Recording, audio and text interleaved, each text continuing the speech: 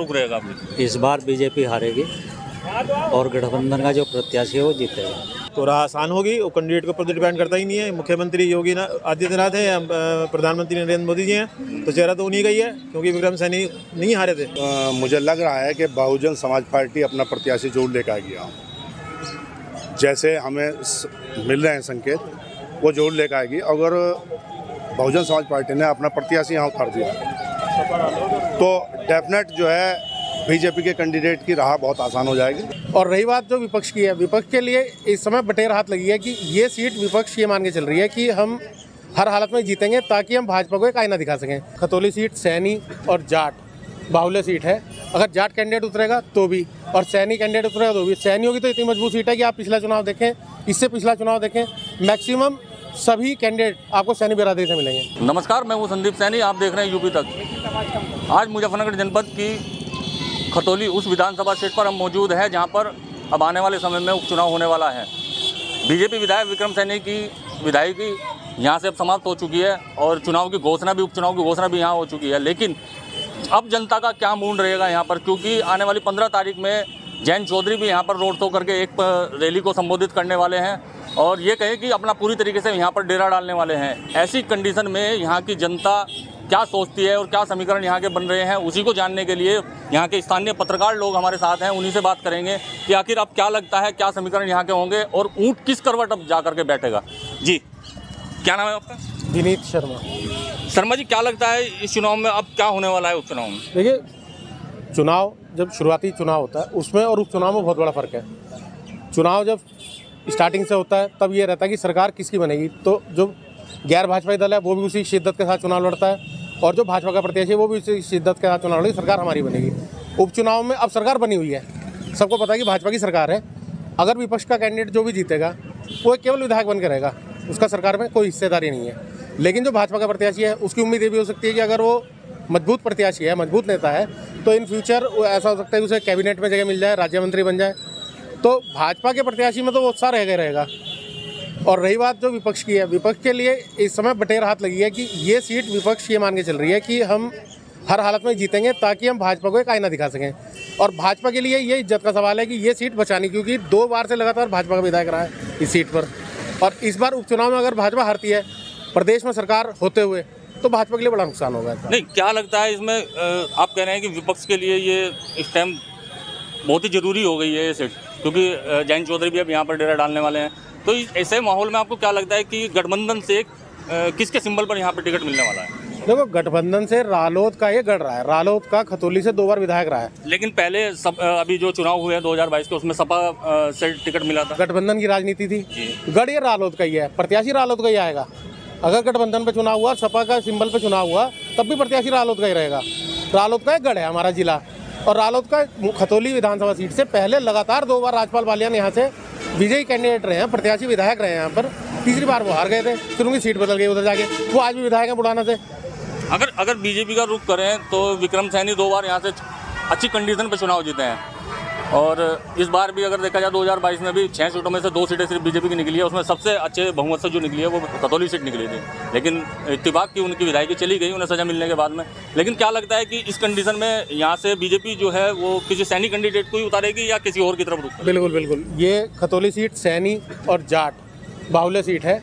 अगर जाट कैंडिडेट उतरेगा तो भी। और सैनी कैंडिडेट उतरेगा तो भी। सैनियों की तो इतनी मज़बूत सीट है कि आप पिछला चुनाव देखें, इससे पिछला चुनाव देखें मैक्सिमम सभी कैंडिडेट आपको सैनी बिरादरी से मिलेंगे। जहाँ तक विक्रम सैनी की बात है, विक्रम सैनी ने पहला चुनाव जो जीता था, वो भाजपा की लहर थी। दूसरे चुनाव में जिसमें वो जीते, उसमें उनका निजी रूप से बहुत विरोध था।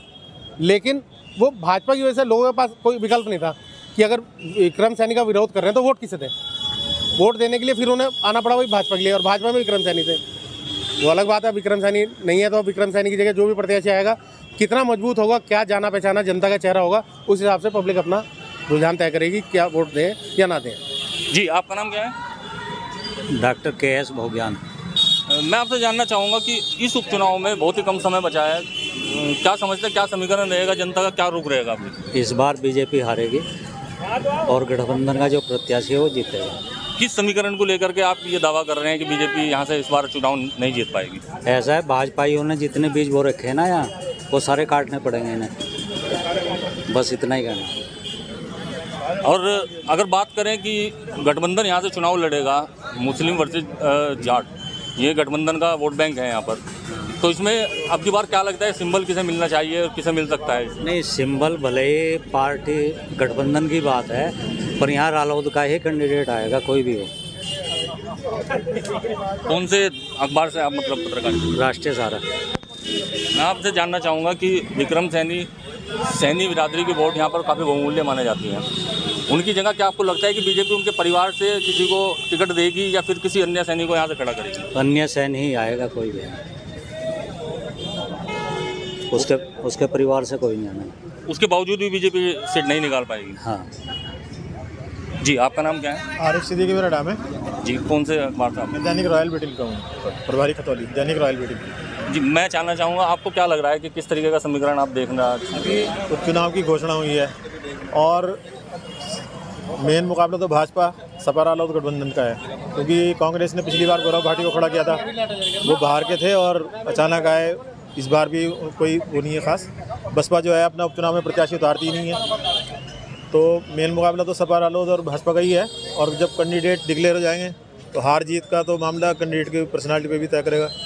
कि वो किस बिरादरी से है या कितना काम विकास का उसने पहले कर रखा है बैकग्राउंड क्या है खतौली वालों के लिए क्या काम कर रखा है जाना पहचाना चेहरा है या नहीं है? नहीं मैं जानना चाहूँगा उपचुनाव में बसपा नहीं खड़ा करती है मानते हैं बात को लेकिन अगर इस चुनाव के अंदर बसपा भी मैदान में आती है तो उस कंडीशन में क्या रहेगा? बहन जी तो कभी भी उन्होंने तो साफ़ उनका तो स्पष्ट कहना है कि उपचुनाव तो हम लड़ते ही नहीं है। आज भी उनका बयान है कि उपचुनाव में तो हम लड़ते ही नहीं है।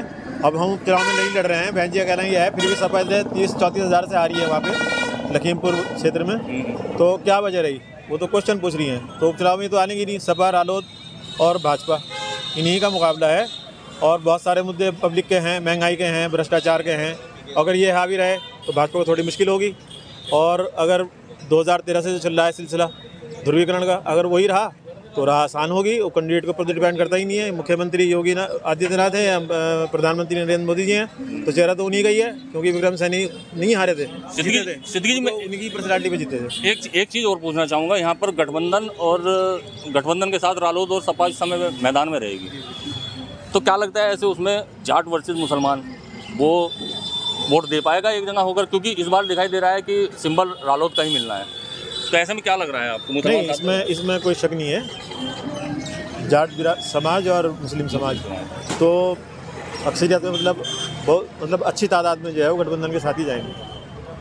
तो यानी कि उनकी राह आसान रह सकती है इस बार? कोई मुसलमानों का तो कुछ सोचना ही नहीं है वो तो लकीर के फकीर हैं एक जगह ही हैं। और बाकी पिछली बार जाट समाज जो था वो थोड़ा इधर थे कुछ उधर थे। हो सकता है इस बार गठबंधन की तरफ़ ज़्यादा आ जाए क्योंकि जन चौधरी की इज़्ज़त का बात हो रही है। उन्होंने ही विधायकी जो है इनकी इनके सिर से ताज छीना है और पहले के मुकाबले में स्थिति मज़बूत भी है। तो स्थिति बहुत विकेट रहेगी मतलब मुकाबला बहुत दिलचस्प होगा कैड़ा होगा। ऐसा नहीं है कि हलवा नहीं है भाजपा के लिए या गठबंधन के लिए लेकिन जो मुकाबला होगा वो कैड़ा होगा। और प्रतिष्ठा प्रतिष्ठा का सवाल है पार्टियों के लिए भी और दिलचस्पी जो है वो क्षेत्र के लोगों के लिए भी। और एक मौका मिला है राजनीतिक पार्टी के जो नेता हैं सक्रिय यहाँ पे अ, क्या है वो बिल्ली के भाग से छींका टूट गया है उप- उपचुनाव हो रहे हैं। तो अब देखें किसकी का लक है कौन विधानसभा में जाता है? जी। आपका क्या नाम है? मेरा नाम शाहिद है जी। कौन सा अखबार था? अमर उजाला। शाहिद जी मैं आपसे जानना चाहूँगा कि समीकरण क्या दिखाई दे रहे हैं उपचुनाव में विक्रम जी के जाने के बाद? देखिए समीकरण ये है कि अगर अ, मुझे लग रहा है कि बहुजन समाज पार्टी अपना प्रत्याशी ज़रूर लेकर आ यहाँ। जैसे हमें स- मिल रहे हैं संकेत वो ज़रूर लेकर आएगी। अगर बहुजन समाज पार्टी ने अपना प्रत्याशी यहाँ उतार दिया तो डेफिनेट जो है, बीजेपी के कैंडिडेट की राह बहुत आसान हो जाएगी। और वो जीत की तरफ़ बिल्कुल बढ़ेंगे, इसमें कोई दो राय नहीं है। और अगर उन्होंने का प्रत्याशी नहीं आता है तो ऐसे में जो है, बहुत बढ़िया चुनाव होगा, दोनों में कांटे की टक्कर रहेगी। कुछ नहीं कहा जा सकता, अभी तक किसी भी पार्टी ने अपना कोई प्रत्याशी घोषित नहीं किया है।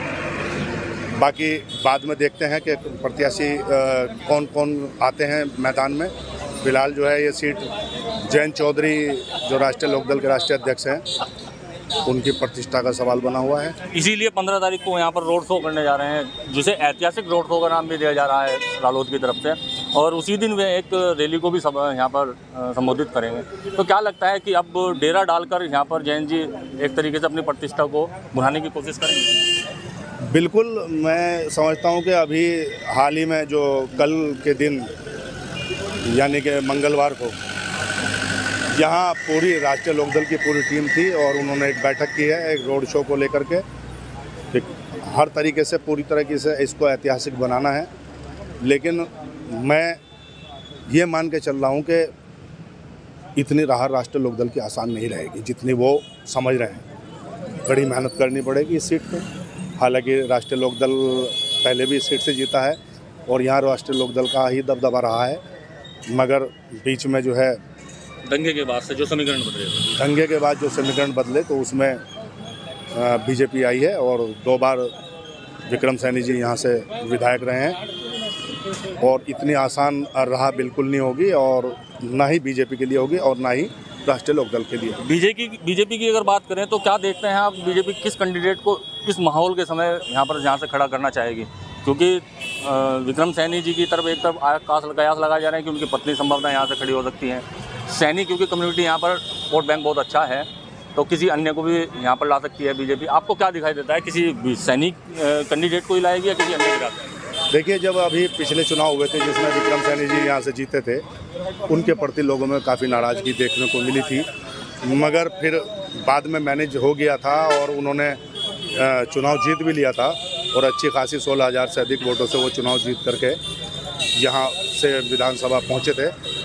और इस बार भी मुझे लग रहा है कि वो नाराज़गी रहेगी, क्योंकि जब चुनाव का कुछ अलग मिजाज था, वोटरों के दिमाग में ये था कि हम केंद्र में प्रधानमंत्री जो नरेंद्र मोदी जी उनको चाहते हैं और प्रदेश में योगी जी को चाहते हैं। कहीं ऐसा ना हो कि हमारी एक सीट कम रह जाए और उससे सरकार हमारी ना बन पाए जिस तरह के समीकरण घूम रहे थे और चल रहे थे तो उस समय वोट लोगों ने इस करके वोट दे दिया था उन्हीं के नाम पर वोट दिया था। लेकिन इस बार पता है सबको कि सरकार पूरी तरह से पूरे अ, मत में है मत से भी बहुत ज़्यादा है और उनके पास बहुत सीटें हैं इस समय अ, कुछ भी हो सकता है इस चुनाव में। जो पहले चुनाव की आपने बात करी है उसके लिए हम क्या कहें कि जो दोनों चुनाव विक्रम सैनी ने यहाँ से जीते हैं 2017 और 2022 का। क्या वो पार्टी के नाम पर उन्होंने चुनाव जीते हैं? क्योंकि सबसे अच्छी जीत उन्हें पूरी जनपद की विधानसभाओं में उन्हें हासिल हुई थी, दोनों चुनाव में। या फिर उनका अपना भी उसमें योगदान रहा है? नहीं, ऐसा नहीं है। उन्होंने, देखिए 2013 के बाद से जब वो चुनाव में आए थे तो वो तो वो शीर्ष नेतृत्व जो बीजेपी का है उसी के आधार पर उन्होंने चुनाव अपना जीता था। लेकिन दूसरे चुनाव में आकर के उनको जो है काफ़ी मुश्किलों का सामना करना पड़ा था। मगर फिर भी मैं मानता हूँ कि ज़्यादा परसेंटेज मैं दूँगा योगी जी की सरकार बनाने के लिए और बीजेपी की सरकार प्रदेश में बनाने के लिए जनता ने उनको वो वोट करा है। अभी भी मैं समझ रहा हूँ कि नाराज़गी लोगों के अंदर है और बाकी आगे आने वाला चुनाव बताएँगे। एक एक सवाल और मैं आपसे जानना चाहूँगा, क्या आपको लगता है कि इस बार इस उपचुनाव में कहीं ना कहीं चुनाव घूम फिर के कहीं हिंदू मुस्लिम ना हो जाए तो उस कंडीशन में क्या स्थिति सामने हो पाएगी? देखिए, अभी कुछ ऐसा लग नहीं रहा है क्योंकि यहाँ पर राष्ट्रीय लोक दल का संभवतः कैंडिडेट होगा। समाजवादी पार्टी का तो कैंडिडेट ना था। ना इस बार रहेगा मुझे जहाँ तक लग रहा है। और चूँकि जैन जी ने संकेत दे दिया है, यहाँ पंद्रह तारीख में वो रोड शो करेंगे। तो लग रहा है कि वो प्रत्याशी उन्हीं की पार्टी से होगा राष्ट्रीय लोक दल से। दो 2022 के उपचुनाव में जो अभी हुए चुनाव जो अभी हुए हैं उसमें सपा के सिंबल से यहाँ पे चुनाव लड़ा था। क्या उसका कहीं ना कहीं फ़र्क नहीं पड़ेगा? यहाँ के जो मुस्लिम समुदाय के लोग इस चीज़ को नहीं सोचेंगे कि सपा का ना होकर के इस बार उपचुनाव में जो है रालोद के सिंबल से चुनाव लड़ाया जा रहा है। क्या कहीं ना कहीं कट सकते हैं मुसलमान उस चीज़ नहीं नहीं लग रहा मुझे कि मुस्लिम कटेगा क्योंकि मुस्लिम अधिकतर तादाद में गठबंधन के साथ नज़र आ रहा है हमें, जो हम लोगों से बात करते हैं, बातचीत होती है हम लोगों की। तो अधिकतर जो है मुस्लिम बिल्कुल एक तरफ़ चुनाव में जा रहा है। हाँ अगर मैं फिर भी ये कहूँगा कि अगर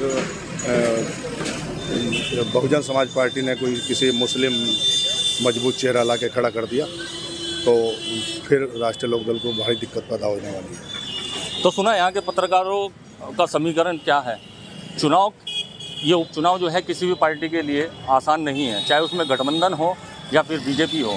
क्योंकि यहाँ के पत्रकारों का कहना ये भी है कि अगर इस बार उपचुनाव में बसपा भी मैदान में आ जाती है तो बीजेपी की राह और आसान हो जाएगी। संदीप सैनी, यूपी तक।